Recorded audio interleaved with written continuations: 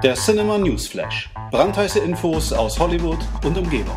Moin Moin, herzlich willkommen zum Cinema Newsflash hier aus Hamburg. Die erste Meldung betrifft Matthew Vaughn. Das ist ja der Regisseur von Kick-Ass unter anderem und auch von X-Men First Class und der bringt jetzt am kommenden Donnerstag am 21.09. seinen neuen Film in die Kinos, nämlich Kingsman The Golden Circle.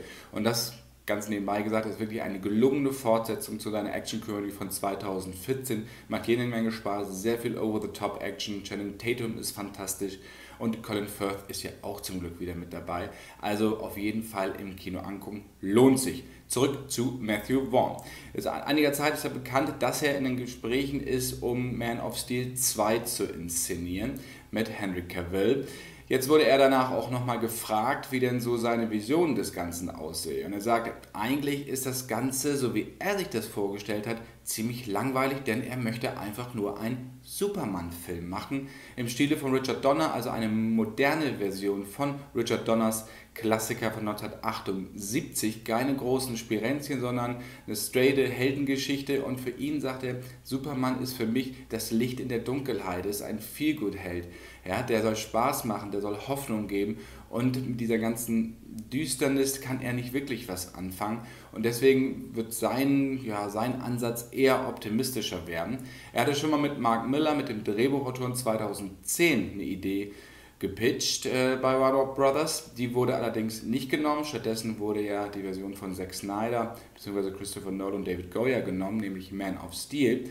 Tja, jetzt scheint es allerdings an der Zeit zu sein, so ein bisschen Licht wieder in das äh, Superman-Universum zu bringen. Vor allen Dingen, weil Wonder Woman ja auch so gut performt hat an den Kinokassen, mit, diesem, mit dieser Leichtigkeit gepaart, mit Tragik, mit Witz und das will Matthew Vaughn dann wohl auch in seinem Man of Steel 2 unterbringen, sofern der Deal dann auch wirklich am Ende zustande kommt. Ich fände es sehr, sehr gut. Matthew Vaughn, der kennt sich ja mit Comics aus. Ich hatte es eingangs erwähnt mit Kick-Ass, also er kann dieses Brachiale, er kann aber auch so ein bisschen ähm, das, das Feinsinnige in X-Men First Class. Also der hat auf jeden Fall eine große Bandbreite und kennt sich in der Comic-Welt bestens aus.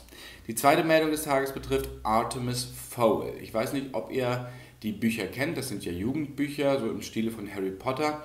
Ich mochte die eigentlich immer so ein bisschen lieber als Harry Potter, weil das mehr Ecken und Kanten hatte, fand ich.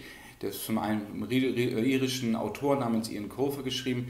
Der erste Band kam 2001. Mittlerweile sind sieben weitere Bücher erschienen. Und da geht es ja um einen zwölfjährigen Jungen, der ja eigentlich Mitglied eines Verbrecher Clans ist, eine Verbrecherfamilie und der den Niedergang seines Clans aufhalten will. Und ja, ist eigentlich eher so ein Anti-Held, kein klassischer Held. Er legt sich auch mit den Elfen an, freundet sich nachher dann aber auch mit einer an und erlebt dann viele großartige Abenteuer und legt sich auch mit sehr, sehr vielen äh, monströsen Kreaturen an.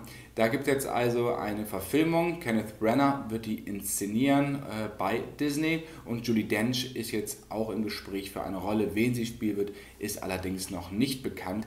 Genauso wenig wie die übrige Besetzung. Ähm, das Ganze soll 2019 am 9. August dann in die Kinos kommen. Ich finde es gut, war auch längst überfällig, dass Artemis Fowl mal äh, ins Kino kommt vor allen Dingen, äh, weil Harry Potter, ja, ist ja ausgelaufen, aber die Fantastic Beasts gibt es ja noch und vielleicht dann nochmal so als Gegengewicht. Ich freue mich auf Artemis Fowl. Ich habe die Bücher sehr, sehr gerne seinerzeit gelesen. Tja, und die letzte Meldung betrifft Beverly Hills Cop 4. Ich weiß nicht, ob ihr darauf gewartet habt. Hm, ich eigentlich nicht so wirklich. Ich finde den ersten Film, den fand ich natürlich fantastisch von 84. Die Fortsetzung von 87 fand ich noch okay.